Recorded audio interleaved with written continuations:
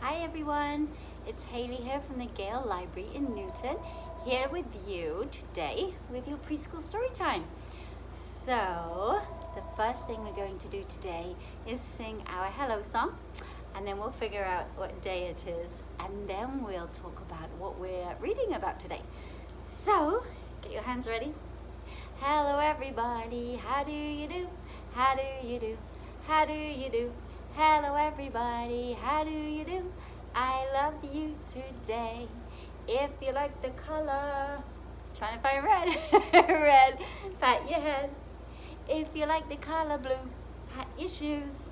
If you like the color green, pat your knees. Good job. I love you today.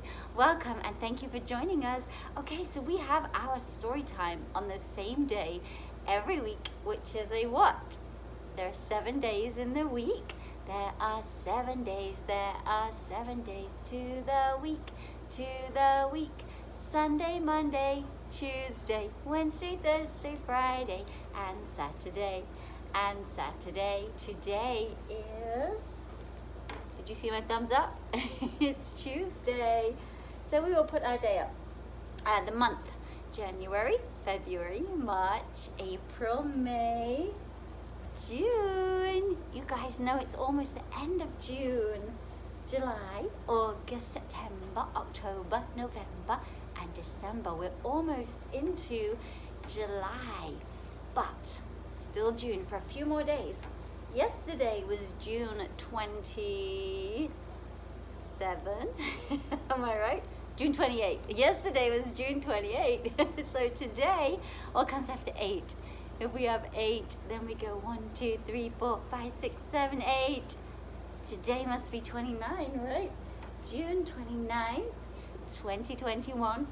We are still at the start of summer and this week is a beautiful sunny week, at least for today anyway.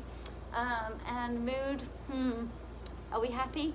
I'm going to tell you something my daughter said. So I always say, I'm always happy. And my daughter was, uh, was watching one of my story times and she turned to me and she said, Mom, sometimes you're feisty. but I'm going to go with happy today. so this is the first week of our summer reading program. Yay! And as you guys know, it is the theme Tails and Tales, and it's all animal related. This week we are doing bird tales. So we're reading stories about birds and we've got some bird crafts for you guys to do. So don't forget to pick up your craft kits this week. We have yarn birds and pine cone birds ready to pick up, which is very cool. My first book is called Birds and it's by um, Kevin Henkes, illustrated by Laura Dronzek. This was a Ladybug award-winning book and it's called Birds. In the morning, I hear birds singing through the open window. Do you guys hear that too? I do too. Birds can be what color? Yellow or blue or brown or red or green. Good job. Sometimes they are so black that you can't see them, their eyes or their feathers. You just see their shape. Have you seen a really black bird? Birds can be big or any size in between. Once I saw, how many? One, two, three, four, five, six, seven birds on a telephone wire. They didn't move, and they didn't move, and they didn't move. I looked away for just one second. Oh! and they were all gone. If birds made marks with their tail feathers when they flew, I think the sky would look like this. If clouds were birds, the sky would look like this. Or this. Sometimes in winter, a bird in a tree looks like one red leaf left over. Can you see? Looks like a red cardinal. if there are lots of birds in one tree and they all flew away at the same time, it looks like the tree yelled. Have you ever seen that? Where the birds flutter all at the same time. Surprise! They all fly off. So cool to see that. If I were a bird, I'd ask where all the other birds go. When it's stormy and they can't get home to their nests. I like to pretend I'm a bird. I can't really fly, but I can do this. Can you see what she's doing? And I can sing. The end. Wasn't that a lovely story? Do you know two little dicky birds? Ready? Get your little dicky birds. Here's one. Here's two. Two little dicky birds sitting on a wall. One named Peter, one named Paul. Fly away, Peter, fly away, Paul. Come back, Peter, come back, Paul. Good job. All right, I've got another one. Elephant and Piggy books are some of my most favorite books because they're so funny. I love the expressions on their faces. And these are written and illustrated by Mo Willems. And this one is called There is a Bird on Your Head.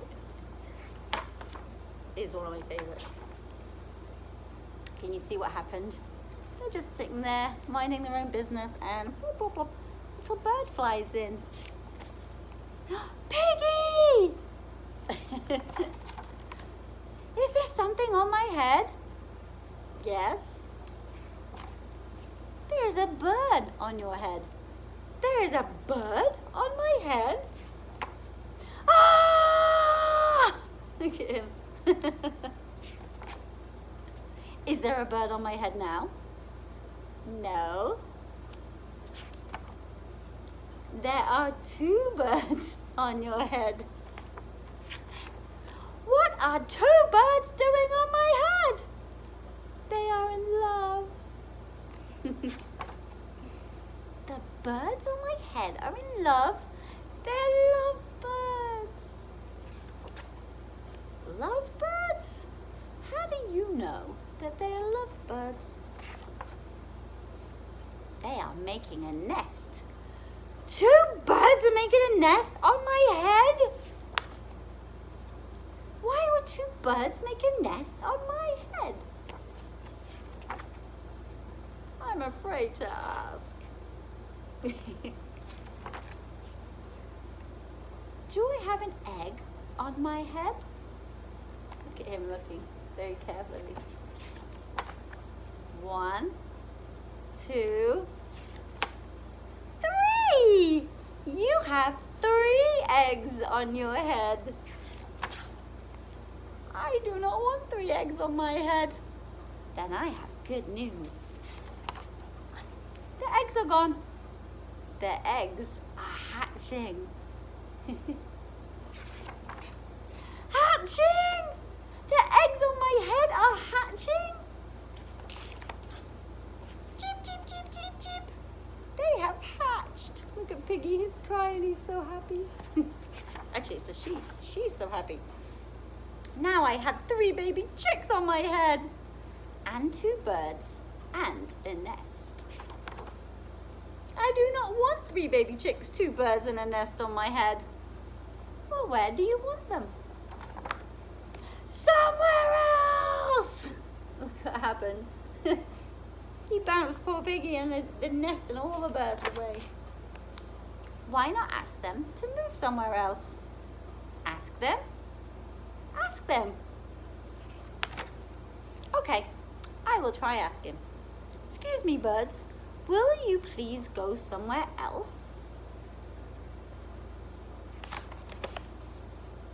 No problem. It worked. Bye. You see them flying off with their nest? Where do you think they're going to go? Now there are no birds on my head. Thank you, Piggy. Thank you very much. Welcome. Can you see they ended up on Piggy's head? I love Elephant and Piggy. They're so much fun. Uh, there is another bird poem. It goes like this. Swept lightly by the south wind, the elm leaves softly stirred, and in their pale green cluster there straightway bloomed a bird. His glossy feather glistened with dyes as rich as red as any tulip flaming from out the garden bed.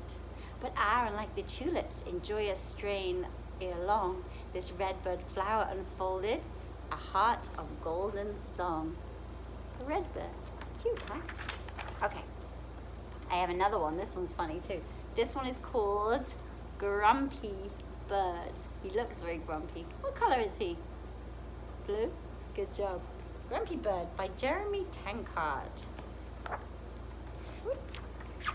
Find the right page. Okay. When Bird woke up, he was grumpy. Has that ever happened to you?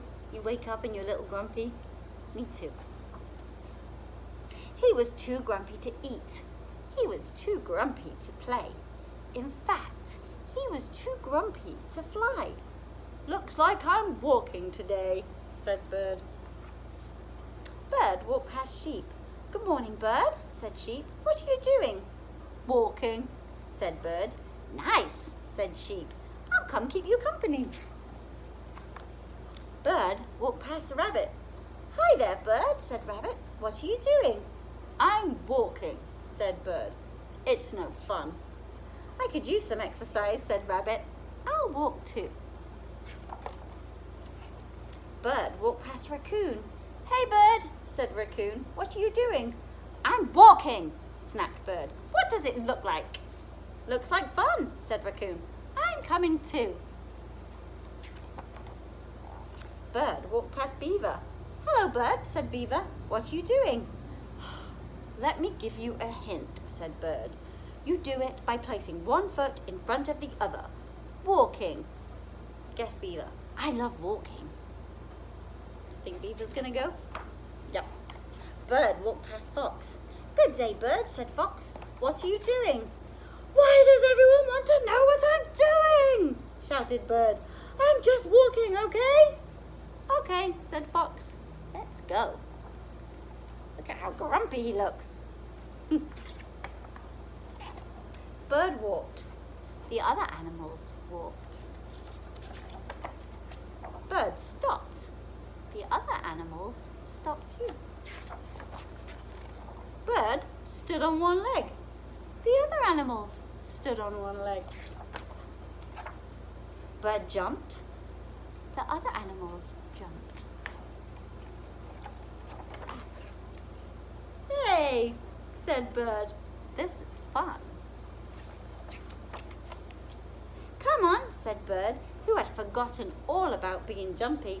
Let's fly back to my nest for a snack. And they did. All his friends helped to cheer him up. Isn't that fun? He loved that one. Um, let's see. We have another one. Oh, I've got a poem. Mm, Five little birds without any home. Five little trees all in a row. I'm looking down because I've got it in front of me. five little birds, five little trees. Come build your nest in our branches so tall. We'll rock you to and fro until asleep you fall. Should we do that one again? Okay. Five little birds without any home five trees in a row. Come build your nest in our trees so tall, we'll rock you to and fro until asleep you gently fall. That's a good one, huh? Okay, I have one more book for you. We've just got time. It is called Wordy Birdie, and it is written by Tammy Sauer and illustrated by Dave Mottram. Wordy bird. That's a funny looking bird. It's on his side. Wordy birdie. Let's have a look. Meet Wordy Birdie. Wordy Birdie had lots to say. It starts the moment she wakes up. Hello sunrise, hello pink sky, hello orange sky, hello yellow sky. Oh, hello gorgeous. She's looking in the mirror. Sometimes Wordy Birdie talks about what she likes. I like spaghetti and unicorns and library books and polka dots and standing on my head and sometimes she talks about what she doesn't like. I don't like tall grass or turtlenecks or long lines or tuna salad or losing my balloon or sometimes she just asks questions. Why do zebras have stripes? Is Bigfoot real? Are we there yet? But she never stops talking long enough to get the answers. Wordy Birdie is not the best listener. Oh, please. Are we talking about the same bird here? Okay, okay. Wordy Birdie is terrible at listening. That's more like it. She never listens to anybody, even when she should. My third cousin Bob is a penguin. Really? This one time, I went totally swimming with a narwhal. Do you think there's an award for Bird of the Year? Fact, people used to think the world was flat and you could fall right off the end. Can you see how she's talking? All these speech bubbles? She's got a lot to say. One day, Wordy takes a walk into the deep woods. Naturally, she has plenty to say. That's a pretty tree, and that's a pretty danger sign, and that's a pretty tree, and danger ahead. Turn back. Before long, Squirrel zips in front of Wordy Birdie. Stop! Don't go any further. Does Wordy Birdie listen? She does not. Ooh, a pine cone. Ooh, a rock. Ooh, a sign. Ooh, a leaf. Soon Rabbit dashes onto the scene. Go back! Go back while you still can. Wordy Birdie listen? She does not. Yay, my favourite. Strawberries and carrots for me and tomatoes for me. No trespassing. The raccoon gives a piece of advice. Run for your life. I think some danger's ahead. What do you think? Whoa, it's getting darker and darker and darker. And look there, white circles and triangles. I love white circles and triangles. Can you see what's happening? Oh, she's walking straight into a Oh, do squirrel and rabbit and raccoon just leave Wordy Birdie there? With the bear? Oh, I don't know. What do you think? We do not. Come on, follow us this way. And Wordy Birdie, do you think she listened this time? She listens. That was almost unbearable. Hooray! We made it. Then Wordy Birdie says thank you the best way she knows how. I love you guys. Like, I really, really, really, really love you. Seriously, I love you more than spaghetti and unicorns and... Wordy Birdie still likes to talk a lot. See? Good night, sunset. Good night, orange sky. Good night, purple. Oh, good night, you. But sometimes... Remember when we totally saved you from that bear and we were brave and amazing and that was so cool? She likes to listen to the end. Whew, she talked a lot, that wordy birdie, didn't she? Okay, you guys, that was the end of our story time today. So we will be back next week with some more animal stories for you and some more animal crafts. And I think next week we are doing farmyard friends. So we will have some fun farmyard things to do. Meantime, don't forget you can come into the library Mondays and Wednesdays from 12 until 6 and Tuesdays and Saturdays from 9 until 1. If you haven't signed up yet, give us a call and sign up to our summer reading program. We've got lots of fun things going on. Hope to see you guys soon. Enjoy this wonderful weather we're having and take care. Bye guys.